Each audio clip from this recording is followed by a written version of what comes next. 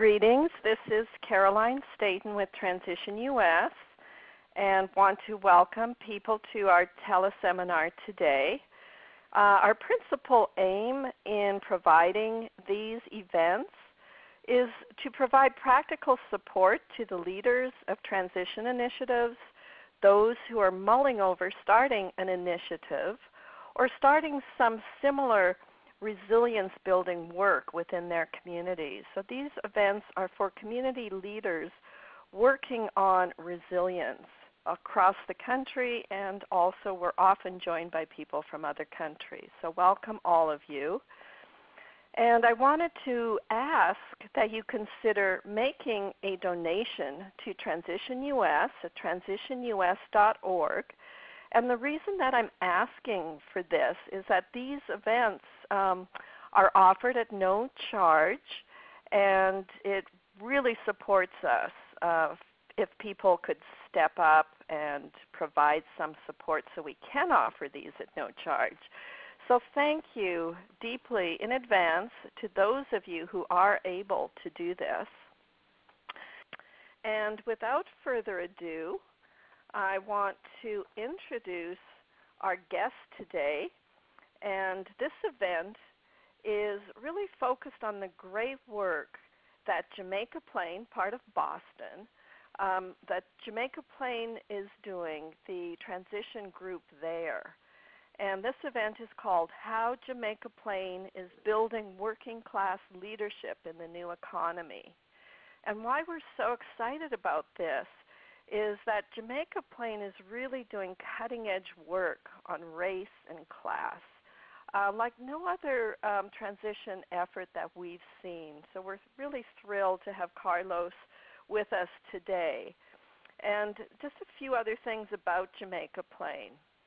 They've got a number of wonderful projects. So um, Carlos can direct us to the web page where you can see a lot more of this. But one of them, um, one of the great stories that really got us excited uh, is that they helped an immigrant-owned dry cleaner transition to an environment-friendly wet cleaner, and really got the community support behind them to do that. Great story about that.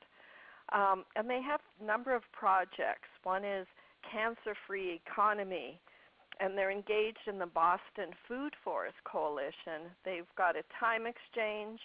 And the thing that um, we'll be hearing about a lot more today with Carlos is the Community Leaders Fellowship. And Carlos is the lead in that um, effort. He's the director of community organizing. So uh, we're really thrilled to have you with us today. Um, Carlos Espinoza Toro, Toro um, is our guest. And um, over to you, Carlos, and lead us through. Um, you've got some slides for us. Again, um, the PDF was mailed to you uh, or is available on our website with the event and uh, and I'm really thrilled, Carlos, that you're joining us and tell us all about the Community Leaders Fellowship. Great, thank you so much, Carolyne, um, and thank everybody for um, being participant on this call. Um, my name is Carlos Espinoza Toro, and I'm the Director of Community Organizing of the Jamaica Plain New Economy Transition, JPNet. Uh, JPNet, the organization that I work with, our vision, uh, I'm sorry, our mission is to create a local economy that works for everyone in harmony with the planet. And one of the ways in which we do that is by building community resilience through address, addressing racial and class tensions. You can look, you can learn more about us at our website at jptransition.org. So I'm moving to the second slide because before I tell you about the Community Leaders Fellowship, I want to tell you a little bit of background um, before that. I work, as Carolyne has mentioned, in Jamaica Plain. Jamaica Plain is a neighborhood in Boston. Boston has over a dozen neighborhoods, and Jamaica Plain is one of them, a bit south of the downtown Boston area. I wanted to give you a description, a rough description of Jamaica Plain's main highlights of demography. Uh, the first one is the population is roughly 40,000 folks, 50%, 56% white, and 22% Latino. Uh, Jamaica Plain, if you look at it in the map, um, you can um, take the train, I believe, from one side of the north part of Jamaica Plain to the south side of Jamaica Plain, and it's roughly two miles. So you can take the train and go from one side of Jamaica Plain to another in probably less than 10 minutes. You can also walk uh, from uh, the north part of Jamaica Plain to the south part of Jamaica Plain. I think it might take you about 30 minutes. It is a very walkable neighborhood. Uh, it has the largest Latino business district in New England. It has the most green space per capita of any Boston neighborhood. A little bit south of Jamaica Plain, there's a big park called the Arboretum. Um, it also has tremendous challenges as any uh, big city or uh, global city in the United States. One of them is gentrification. It's the third most expensive neighborhood in Boston. Uh, it's going rapidly through a process of gentrification, uh, especially in the areas that JPNet is working at. Uh, there's also a tradition of activism, uh, which is really um, very long, um, uh, has been going on for quite a bit of years. In the 1970s, um, the community got together to stop the construction of a highway called the I-95 this was a highway that was going to split the neighborhood in half. And in celebration of their achievement, they created a festival called Wake Up the Earth, which is one of the many festivals that Jamaica Plain has. In the 1990s, uh, folks in Jamaica Plain created the JP Neighborhood Council. Even though Jamaica Plain is part of the city of Boston, uh, it really uh, tries to uh, get really involved in civic activism, and the JP Neighborhood Council is a way in which every single development, it allows for folks to have a voice over every single development that gets done in Jamaica Plain. So again, to summarize, Jamaica Plain, a neighborhood in Boston, from north to south, roughly two miles. Um, it has, it's very walkable, accessible uh, by train and by public transportation like bus, uh, and just some challenges and also a tradition of activism. I'm going to move on now to the third slide.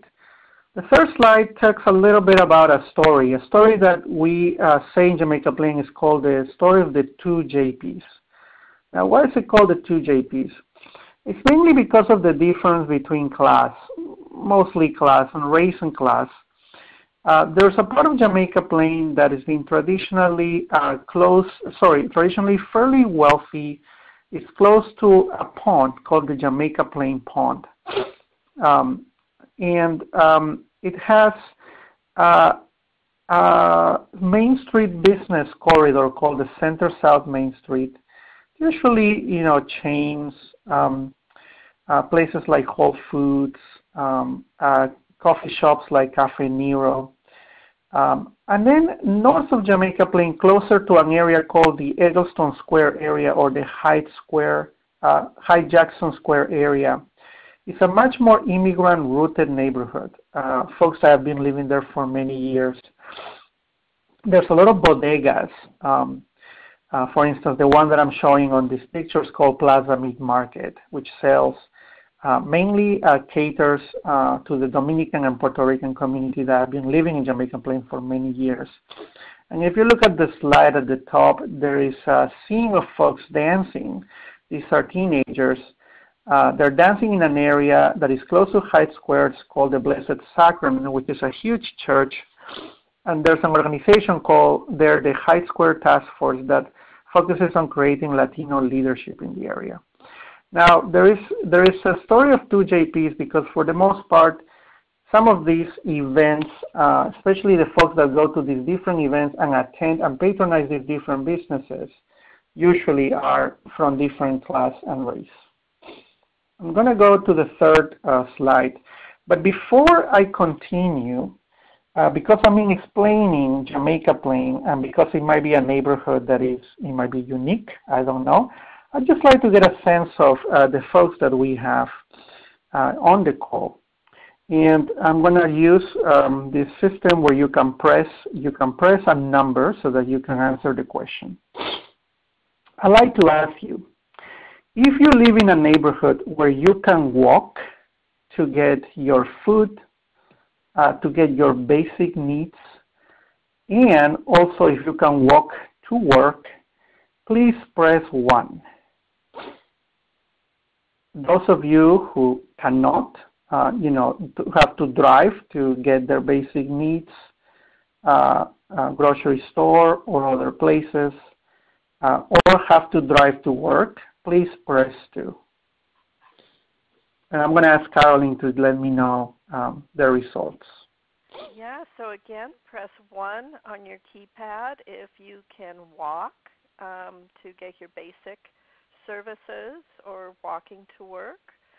And two, if you really need to drive to get most of that, uh, both most of your services and um, to go to work. Um, so, and if you're not able to press a number on your keypad, um, I can imagine that some of you might not be able to, so stay hands free if you're driving or anything. Um, so we have 14% Carlos pressed 1, mm-hmm. okay. and 42% pressed 2. So the majority of people are driving and not walking to get their mm-hmm. needs yeah. met. And then there were um, several uh, there were, I think, four people that were unable to press a number. Okay. So that that gives a sense of of the people on the call. Fantastic, fantastic. Uh, I may have another, I may throw another uh, question at you guys really soon, but uh, let me just uh, explain a couple of things that the Jamaica Plain New Economy Transition does. How do we crystallize our mission of um, you know, creating a local economy and building uh, resilience. We have in the slide that I'm showing, which is one, two, three, four, the fourth slide, we have uh, a couple of images that are from a public event, a public forum called the State of Our Neighborhood. The State of Our Neighborhood is a public event that brings uh, neighbors, um, uh, nonprofit leaders, elected officials, um, and folks, uh, leaders in the community, to talk about issues in the neighborhood, like for instance, housing or accessibility to health uh, or um, small business development, and to present some of these issues to the elected officials and ask the elected officials, engage them in dialogue and ask them to champion some of these uh, solutions that are presented at the state of their neighborhood. Uh, as you can see in this in this image, this is uh, the event that happened. This is the state of our neighborhood that happened this year, just last week on Thursday, February the 27th. Um, at the top, you can see the elected officials that are uh, sitting in between community representatives. Some of these elected officials are senators and representatives from the state of Massachusetts, and some of them are councilors from the city uh, of Boston. In this case, we talk about housing. Uh, instead of our neighborhood, the main impact is that it's truly built relationships among neighbors. It gets them out of their homes to come and get to know each other, and also to really care and develop a culture of dealing uh, and engaging in public dialogue and political dialogue. I'm going to go to the next slide, which is the fifth slide. It's a very quick example of a very concrete project. So the State of Our Neighborhood is an event, and this is a project called the Boston Food Forest. Now, what you have in the picture is a group of folks that are doing permaculture.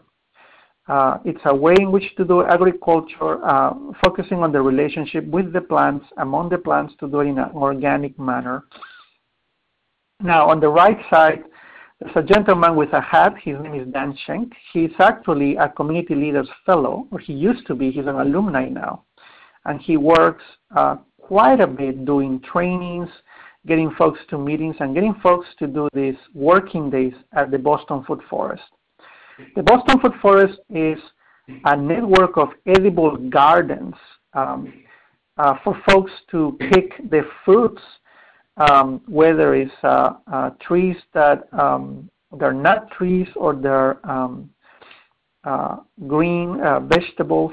They come together uh, to get to know each other, but also to plant these, uh, um, to cultivate these plants in different areas in Boston for anybody to pick them, uh, increasing the accessibility of local healthy food.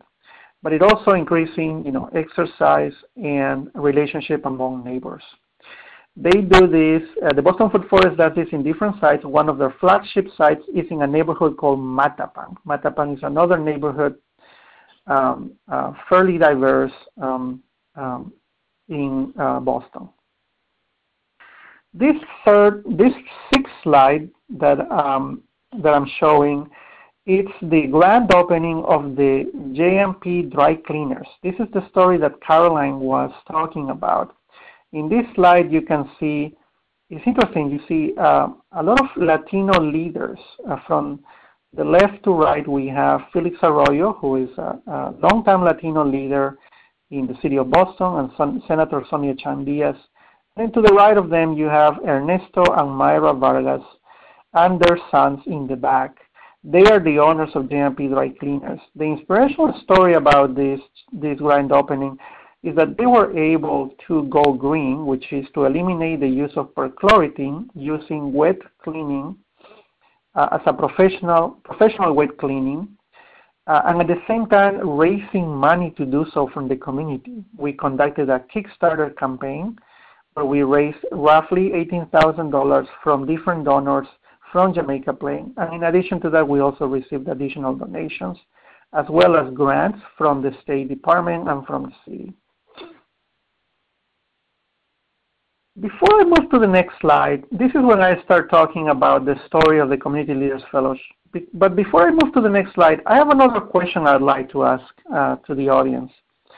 And I also would like for you to take a look at your uh, phone pads, uh, your pads, and uh, press um, your keys. Let me ask you this question, or let me ask you this. If you live or work in a multiracial setting, please press 1. If you do not live or work in a multiracial setting, please press 2. If you don't know, or maybe you don't get a chance to know your neighbors and who lives around you, please press 3. I'm going to ask Carolyne to help me out. So yes, so press 1 if you live or work in a multiracial setting. Um, press 2 if you do not live or work in a multiracial setting. And press 3 if you don't actually know who uh, you know who who your neighbors are, and you don't really know if there's multiracial um, diversity in your neighborhood or not. Um, so, Carlos, we have 64% say they do uh, live okay. or work in a multiracial setting, and 14% say they don't, and no one okay. um, pressed the the third option.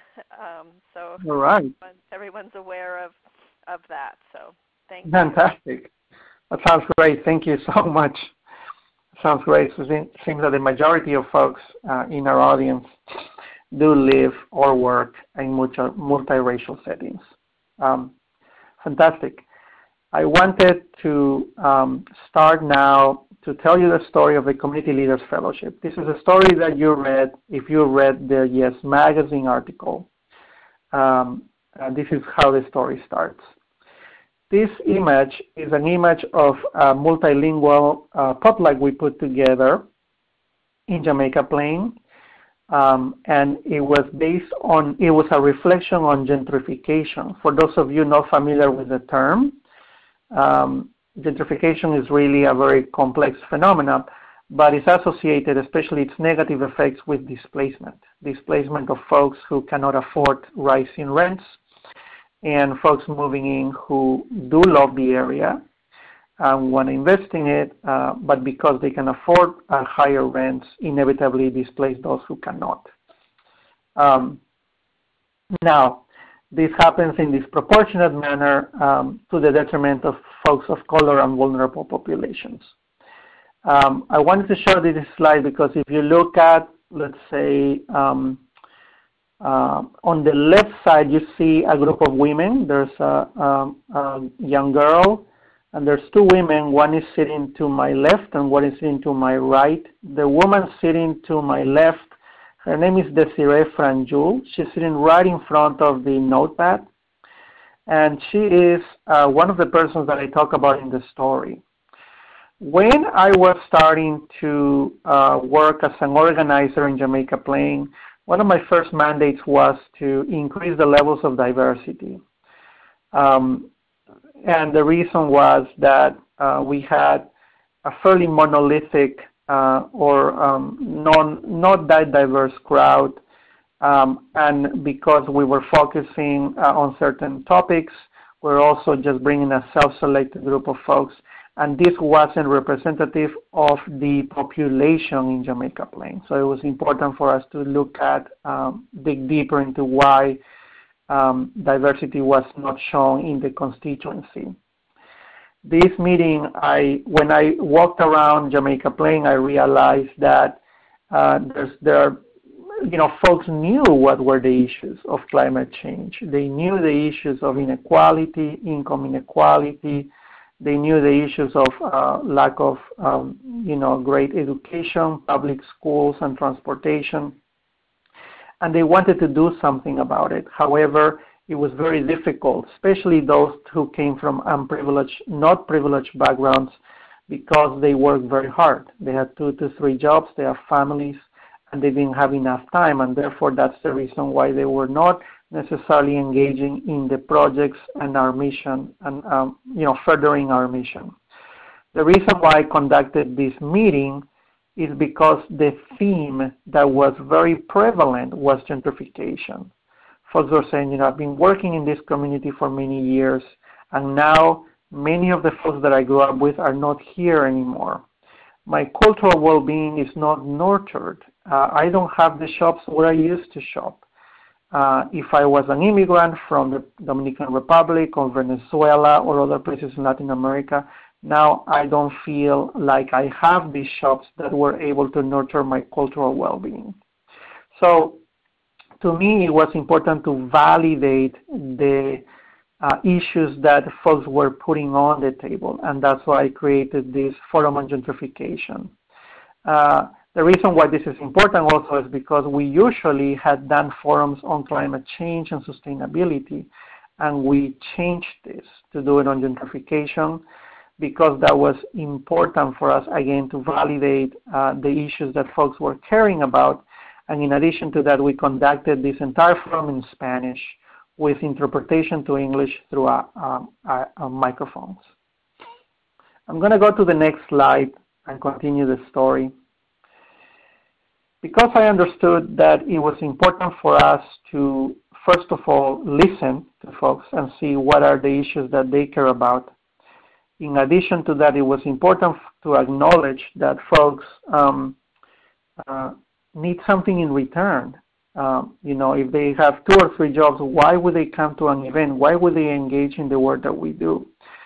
Um, and, and, and most of the folks that I was talking to would always say to me that they were underemployed or unemployed, or they had just, or they really wanted to do meaningful work, but they didn't know how to. They wanted to engage in a better way of doing. They wanted to grow plants. They wanted to, uh, you know, create better housing for folks, but they didn't know. They didn't have any platforms that enabled them to do so. Most of the platforms were based on volunteerism only. So I came up with the idea of the Community Leaders Fellowship. And I'm going to read this just a, li- a little bit because it's very ambitious. and I'll tell you where we're at right now. Uh, we envision a social movement built on individuals' hearts and minds, and we call that the software, and which does not depend solely on developing material assets, and we call that the hardware, or it could be a home or something that is bricks and mortar. Uh, the fellowship envisions an influential network of leaders in which each individual lives and evolves the new economy principles of resilience, carrying them across age, render, gender, race, class, and geographic location. Uh, our mission is uh, to create leaders that will lead a project and or live and work within the new economy principles of individual and community resilience. And this is the part that I like a lot, which is the part that I put my heart and mind on. I want to base this leadership, this, this opportunity for folks to engage in our work based on the value that nurturing an individual's heart and mind through education, capacity for reflection, emotional intelligence, and capacity to dream without limitations is the most resilient investment that can be made. And in addition, the fellowship is also based on the strong belief that anyone can be supportively guided into becoming a leader in the new economy movement. So these are the ideas that were going through my mind after I perform a reflection on why, how we can better engage folks from underprivileged backgrounds uh, and having those voices in our work, which are really needed. I'm going to move on to the next slide now, which is uh, talks about the Community Leaders Fellowship. I'm going to go a little quickly on this because it's really the nuts and bolts, but I just wanted to give you a, a quick understanding of how it works operationally. The fellows are, you can see in the middle of the slide, a pipeline. Uh, from left to right, the fellows are recruited, they're matched to a project, they're matched to a project coordinator, and then uh, the work starts, transforming the work into leadership. Then they complete the program, and then they can re-enter the fellowship for another cycle. They can re-enter for as many cycles as they want. If they exit, they automatically becomes part of the network of leaders, which we call the alumni network. At the top, you see something that is called uh, equal exchange. That was a fundamental belief of mine that if I'm going to ask for people to give their time, I need to provide equal benefits comparable to that. So you see an arrow at the top that says fellowship work performed on projects and events. That arrow is the work that the fellowship is performing, and in exchange for that work, we provide benefits. And you can see at the bottom um, three or four arrows moving up or pointing up, and those are the benefits um, that are individual mentoring and coaching and group support sessions. And this is how the fellowship works. I'm going to move on to the next slide, um, which is um, bringing, uh, highlighting Desiree's story a little bit. This is the woman that was sitting at this multi multilingual potluck that I had uh, that I put together for reflection on gentrification. Uh, Desiree Franjul, who is he, uh, here on the left side, um, became a fellow. Uh, she didn't have, um, you know, um, we couldn't offer her money, but we offer her the opportunity to become a leader in the community, to organize events. And here is she organizing a sports event that we conducted last summer in which we brought a diverse group of folks together around sports. Uh, this was completely non-traditional. You know, we usually at events we sit in a circle and we talk about issues, and we're a little bit more serious about this. Uh, in, you know, we, we seem a little serious, a little um, too grave. This one, uh, we inverted that and we decided to focus on fun. What would it mean for us to have fun together, uh, enjoying uh, playing sports? And then after we did this, we'll talk about, you know, what are our reflections now that we're together uh, playing a sport? How do we see each other bridging across race and class divides? And you can see those race and class divides already there uh, in this picture. I'm going to move to the next slide, um, which is a slide that contains four pictures. And these are pictures of different uh, um, uh, stages of our fellowship. Uh, on the left-hand side, the top left-hand side, there's a picture of us on the orientation session. Uh, there's a young woman with black hair. Her name is Janet Orihel. She's a Hispanic uh, Latino student in journalism, and she's currently working with us in communications. Um, this is the first orientation session that we usually do with the fellows in order to introduce them to the work. If you look at the picture at the bottom side, um, right underneath, right uh, um, uh, under that uh, first picture, you would see my colleague Orion Kriegman, he's on the right side, and other fellows. And these are the kind of meetings that we have in the, during the support sessions. We bring them together because they've been working out there, whether in the Boston Food Forest or in the cancer-free economy or many other of our projects, and we bring them together to reflect not only to reflect, but also to provide peer-to-peer support among each other. What are the challenges that are facing, and what are they learning uh, are facing those challenges. This is where we create the space for people to reflect on failures and successes. It's important to create a safe space for that kind of reflection. On the top right-hand side, uh, you can see a picture of one of our retreats. Our retreats are an important part of the fellowship because they come together for longer periods, three hours, to actually uh, create a common bond among their work. They've been working, they've been going to the support sessions, but they need to reflect on how are they establishing uh, bonds between themselves that will last for a long time. So we bring them together to talk about their experiences and to talk about what is the value of the fellowship collectively. Um, at the bottom of the of this picture, bottom right hand side, that's just a very fun picture of uh, a group of fellows. This was the the last cycle, not this this current one. The last cycle that lasted um, was during the fall of 2014, and for some reason, a, a lot of them were were Latino. We have uh, Byron Garcia, the uh, gentleman with glasses and the cap, and then uh, we have Cristina Regon, who was uh, an immigrant from Mexico, who is an immigrant from Mexico, and Paola Liendo, an immigrant from Bolivia.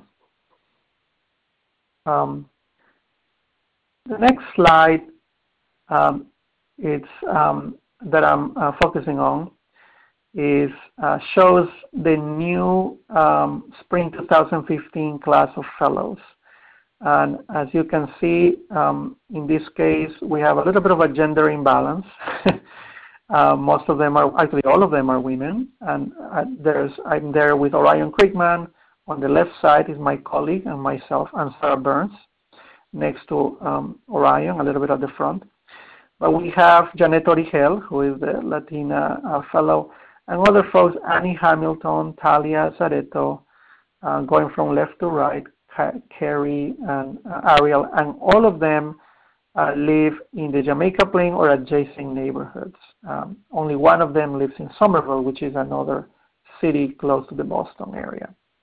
They are professionals and they come from different backgrounds in terms of class. Um, and that's um, the story of the fellowship.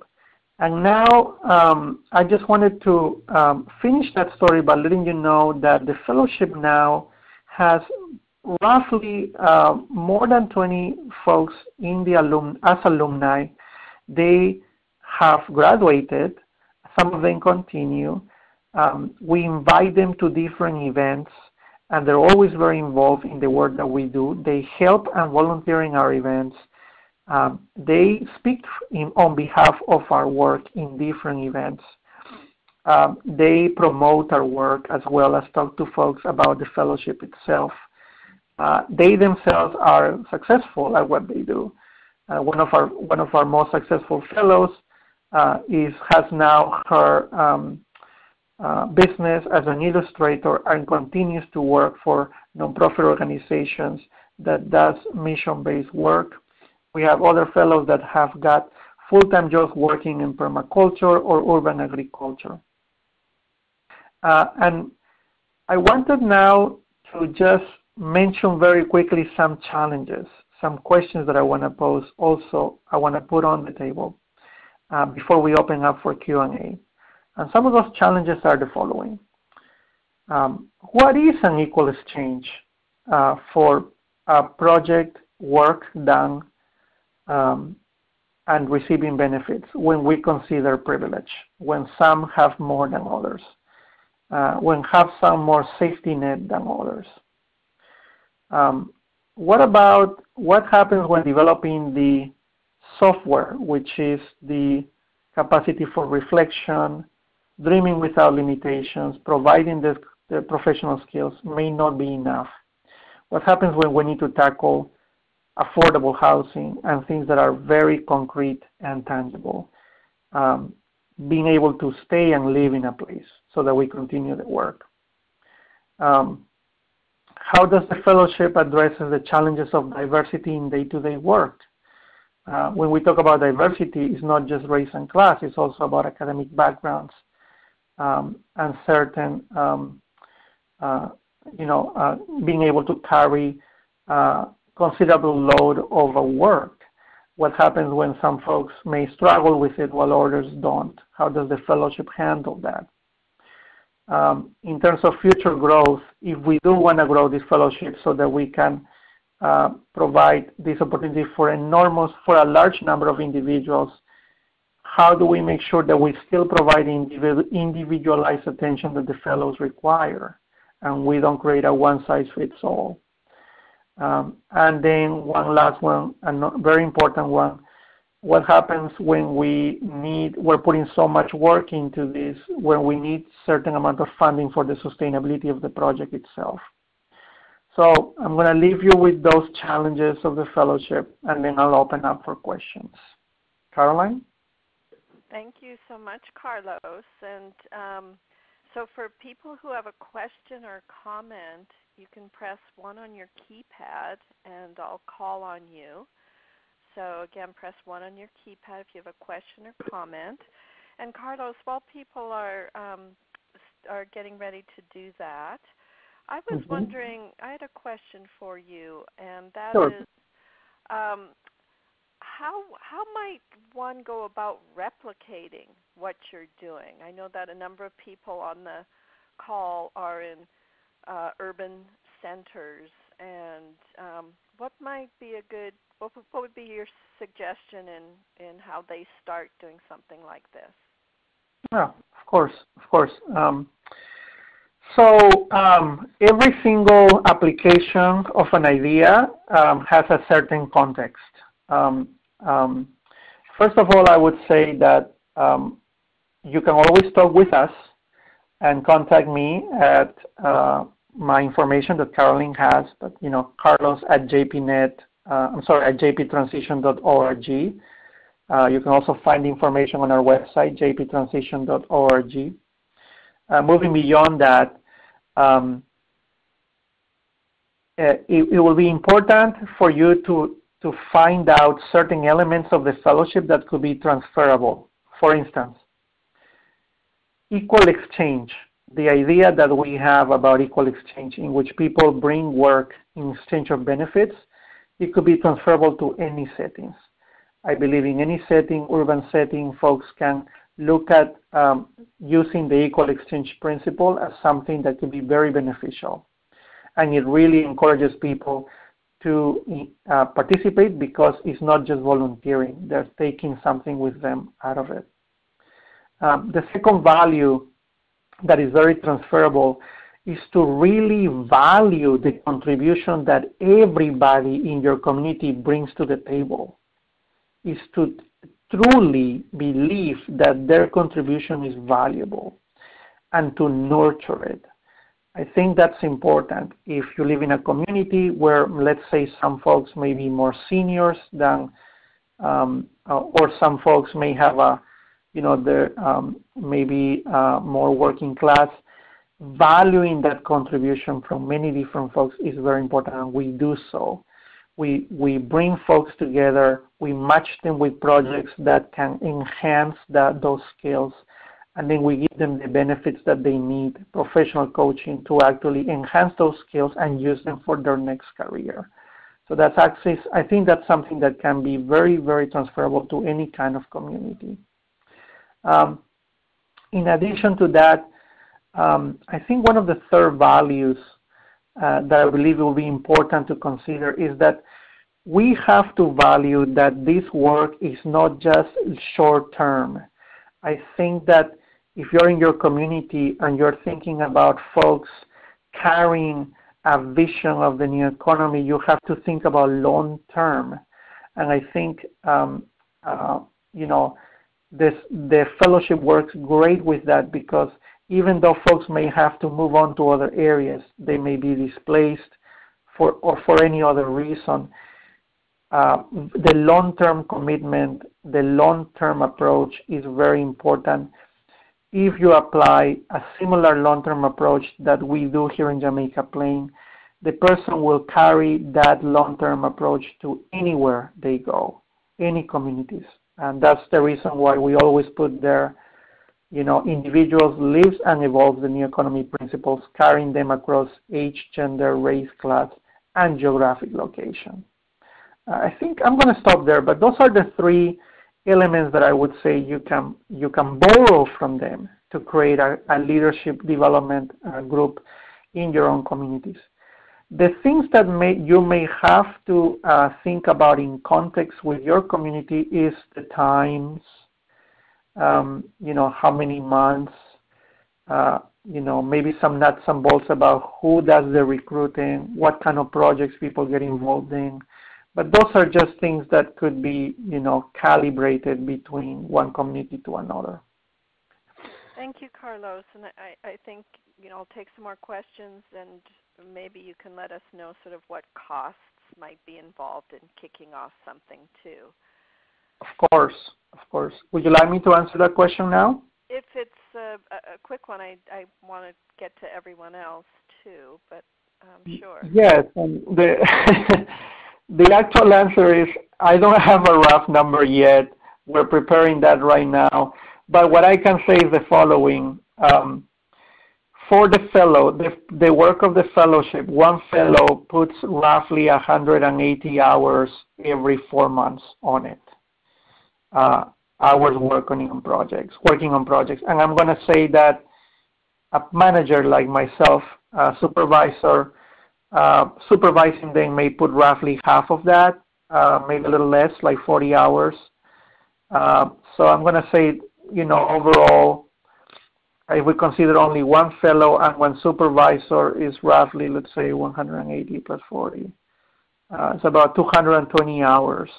And if you multiply that by a certain factor, if you want to make this more financial, then you can you can use that as a formula. In addition to that, there's also hours. Um, these these hours are included on the support sessions and the coaching sessions. Thank you. Um, I want to go to Ken White. Hi, Ken. Go ahead. Carolyne, and hello, Carlos. Thanks for the presentation. Um, I just had a question. I think you mentioned when you were describing the fellows in the picture that they were all professionals. Um, so, uh, and I just want to be clear. Uh, this is they're doing this these fellowships in addition to whatever work that they're already doing. That this is not a full-time commitment on their part. It's 180 hours per month per person mm-hmm. to be a fellow, approximately. Is that right? Uh, so they are um, um, all of them are not working. They're not working full time at the moment. They are um, working part time on different jobs. Some of them have quit their full time jobs and just work part time in other jobs. Um, but they are not working currently working full time. We have experience with one or two fellows that were working full time and they really it didn't really work very well.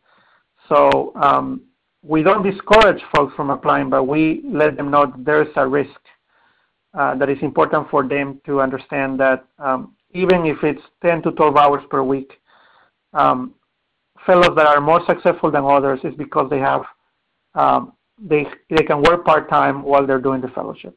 Does that answer your question? Yes, absolutely. Okay. Thank you, Ken. I wanted to go to Marissa. Thanks, Carolyne. Hi, Carlos. Hi, Marissa. Ken asked one of my questions as well, um, but I do. I'm also wondering what is the time breakdown in terms of the amount of time folks are spending working on the projects versus coming together for mentorship and support?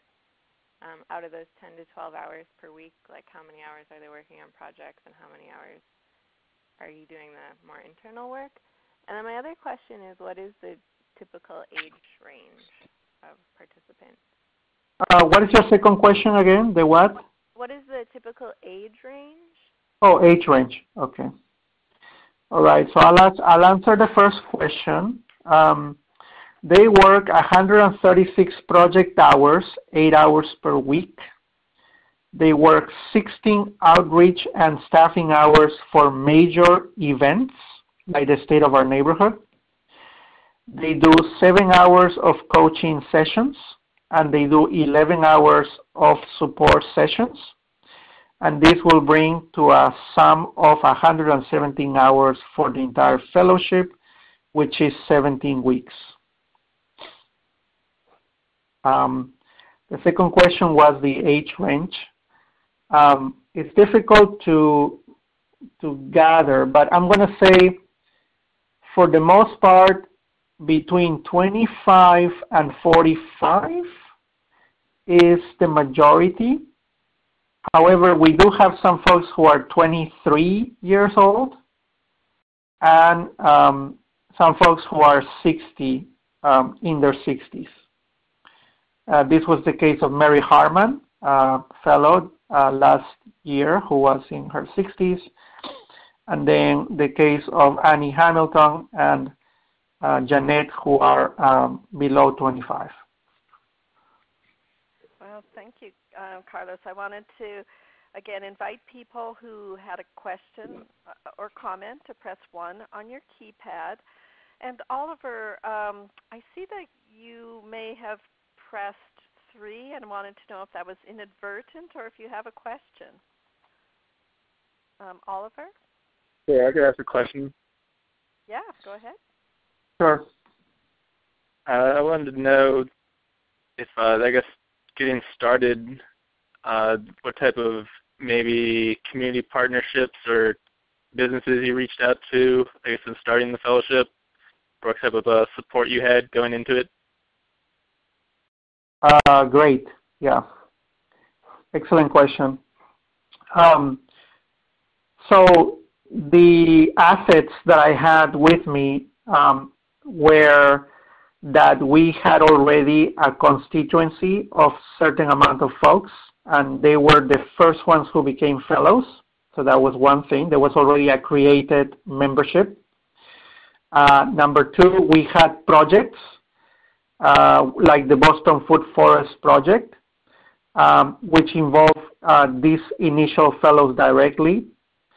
Uh, number three, we had uh, some partners like the Jamaica Plain Neighborhood Development Corporation who um, um, provide us with opportunities to talk to their membership uh, living in low-income housing to um, uh, encourage them to become fellows.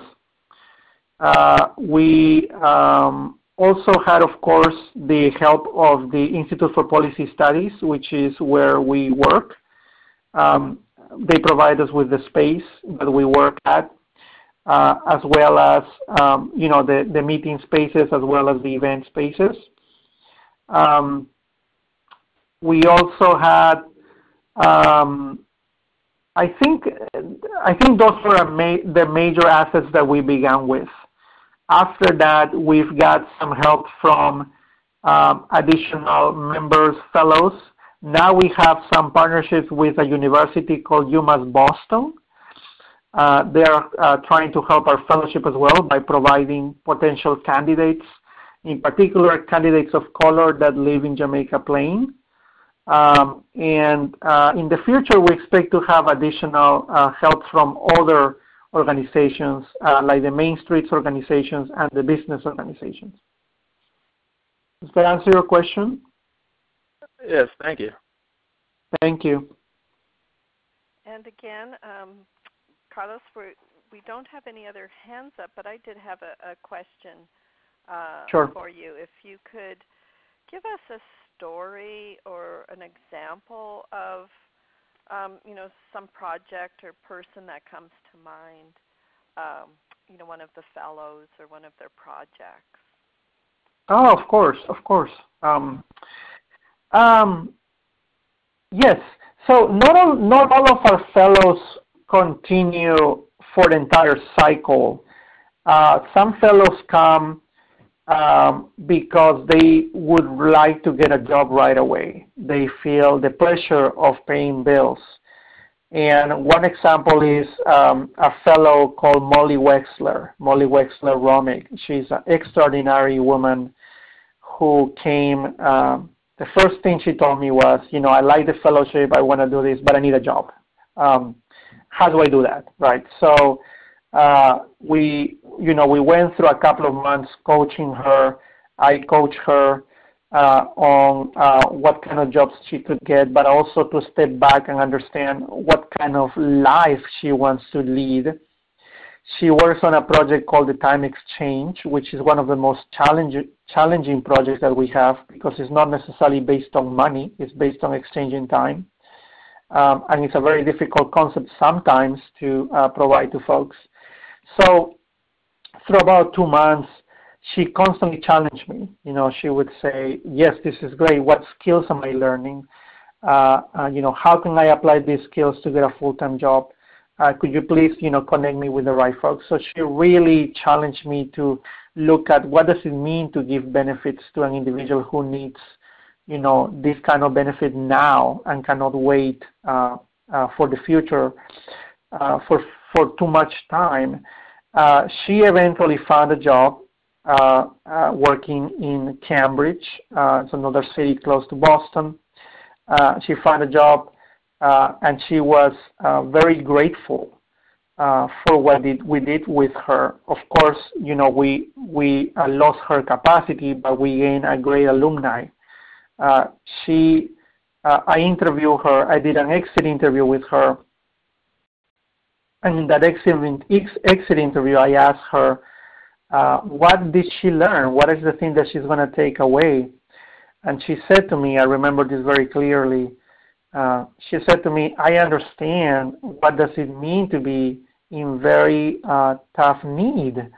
Uh, I also understand that I'm not, even though I am in need, there are those who I work with that I am in, that are in greater need. And so my takeaway is that when I go out there into the into the full-time work, re-engage into the market, uh, I will have a deeper understanding of what of, of knowing where people come from and what their necessities are, and it will make me a better manager. You know, understanding how people uh, come into the work. You know, not seeing everybody, uh, not being colorblind or class blind, but really understanding. Um, you know that some may need uh, further help uh, that not everybody comes on the same boat. Uh, so that, I was very proud of that. You know, she left after two months, but I was very proud that she was able to gain that deeper understanding. Uh, she now has uh, resigned that initial job that she has, and she's working now full time for a solar panel company uh, because she really wanted to have this energy efficiency mission-based life that she's always wanted to um, aspire to. Uh, so that's a great inspirational story that I, I love uh, to tell. I have many other stories, but I'll stop there if you know if you want me to keep going. Let me know. Yeah, thank you for that. That gives it a, a real personal flavor. And we've got um, Ken, you've got your hand up, so we'll take that question. Then Carlos, I'll ask you for closing comments, and we'll adjourn for today. Okay, thank you. So over to you, Ken. Thanks, Carolyne, and thanks again, Carlos. And uh, uh, um, I appreciate the opportunity to ask another question. Um, what sort of context do you offer the fellows in terms of uh, the transition perspective on uh, where we're headed in terms of the economy and environment and energy, and also the new economy perspective in terms of uh, you know what, how the new economy will look and what sort of uh, uh, methods of exchange we'll have, how things will be structured, um, you know, localization, all of that. Uh, what what kind of perspective are you able to offer to folks, and, and how do they respond to that?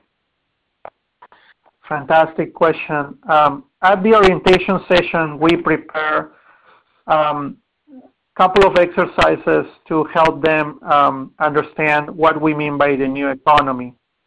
Uh, we provide them slightly some systemic uh, vision, such as um, uh, uh, imagine that that you know the ga- the price of gasoline is uh, four or five times uh, what it is now. How would you transport yourself? How would you go to work? How would you um, perform the things that um, are dependent on that?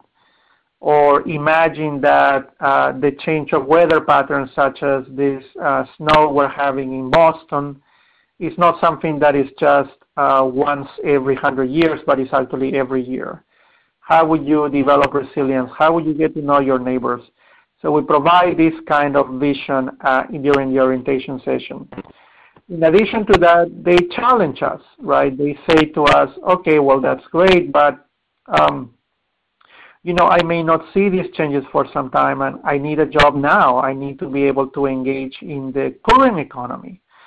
So uh, we wrestle with that. We don't have um, a very specific, rigid answer to them about how to engage um, with the current economy. But what we say is that um, we are open, uh, you know, for them to uh, provide those challenges when we do our work because those challenges usually bring the ingredient of race and class with them. Um, some folks may have um, uh, you know, they start uh, uh, surfacing that some folks may have more time to think about longer term changes while other folks need something now. Uh, so to summarize my answer, we provide uh, systemic um, um, uh, information through data and through visioning process, but we also engage them in how they react to what, they're, to what we're providing. We use the data as something as scientific data that uh, you know we believe it's right, uh, but we also want to be uh, very cognizant of their own individual and current needs. Uh, and how they get to engage the new economy is something that we always guide them to. How, the, how Molly Wexler finds you know, selling solar panels as a way to make money now, as well as um, you know, providing energy efficiency is something that she, uh, we guide her to do, but she uh, took the steps to do herself. Right, so um, that's what I would say. Does that answer your question? Absolutely. For for uh, responding, I appreciate it. Thank you so much. Uh, Carlos, thank you so much. Just wanted to give you a chance for some closing comments. Ah, yeah. Definitely. Uh, again, I just want to close by saying that uh, ultimately this fellowship is based on the belief that everybody contributes. Everybody has value to contribute to envisioning something that we're trying to do together. Um, and for us, it's a matter of understanding how we can develop a platform that enables that, that channels that value. Um, and how we can address those tough questions and those tough divides across race, class, gender, and age. Our work in the fellowship is something that we are trying to nurture for a long time. Um, for us, it's important to concentrate on the hearts and minds of the individual. Uh, and of course, uh, one of the things that I also wanted to say um, finally is that their voice and the voice of every one of us is needed. So the more we can include those voices, um, the more we can provide opportunities for folks to voice their concerns, for voice how they're going to engage in the economy, I think the better and more successful will be to develop sustainable leadership. I'll end with that. Carlos, I want to thank you. Thank you for uh, creating such a wonderful model that we can really learn from and for sharing that with us today. And I wanted to thank the participants too for joining us today, and please join us again. So, on behalf of us here at Transition US, and big thanks to Carlos, thank you all for joining us, and have a wonderful day. Bye bye.